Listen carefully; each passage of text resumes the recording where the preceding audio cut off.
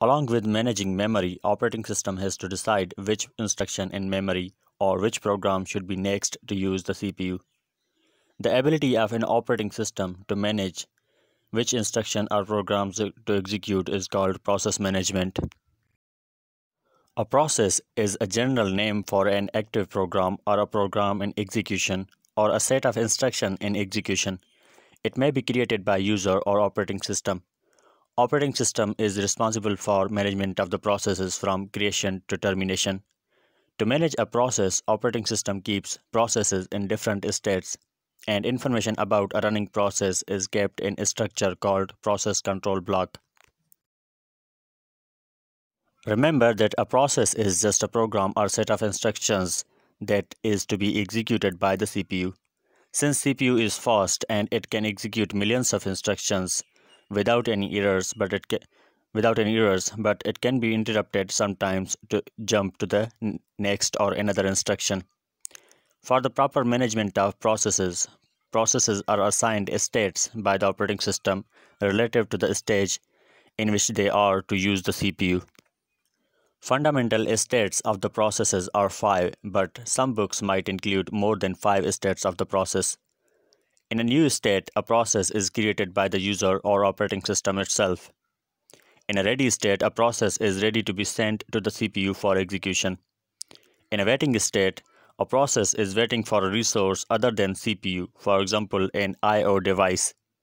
In a running state, a process is being executed by the CPU. A process is in terminated state if it has completed its execution. This figure shows how a process moves from one state to another. A process in new state moves to ready state. A process in ready state is dispatched to running state.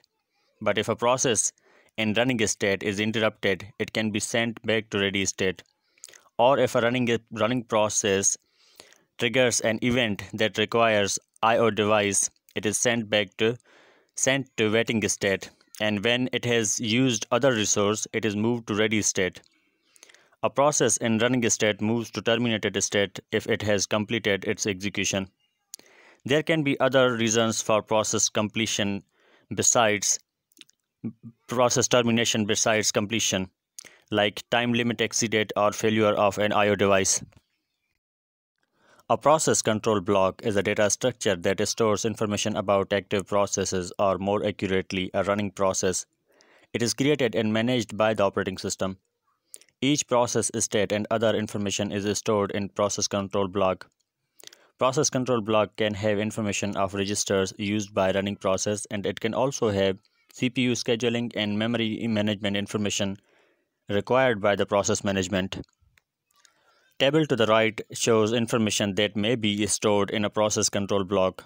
It can have a process identifier and state of the process, register information and memory pointers, context data or data that may be refer referred reference, referred by the by a process, and IO status information and accounting information of the processes.